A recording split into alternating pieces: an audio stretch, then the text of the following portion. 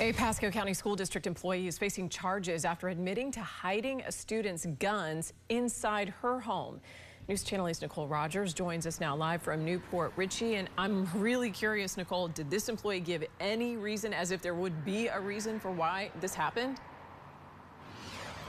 Jen, good evening. Police say that the reason she did it was that the student would not be criminally charged, leaving police now questioning her relationship with the student. But this whole story starts here at the corner of Van Buren Street and Main Street. It was involving a sale the sale of illegal guns at that point. Involving minors. And according to New Port Richey police, one was a student at Gulf High School. They say that student then reached out to 20 year old Emily Medina, a discipline assistant at the school. This female came and picked him up, took possession of a backpack, knowing that there were guns, ammunition, and told him she would hide it for him at her house so he could avoid being arrested for it.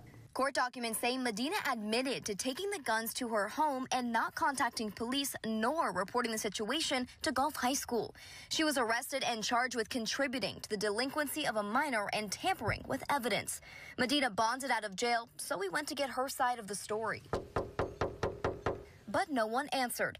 Pasco County Schools released a statement saying Medina has been placed on administrative leave, which is standard procedure when a district employee faces charges.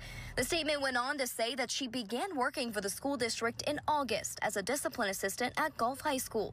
Now, investigators are looking into Medina's relationship with the student and if she had any relationships with other students. It's inappropriate behavior.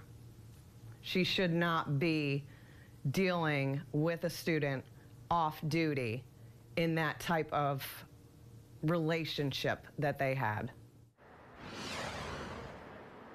Now, a lot of questions remain unanswered this evening as police continue to investigate her relationship with the student, where the kids got the guns to begin with, and if they were stolen. Live in New Port Richey Nicole Rogers, 8 on your side.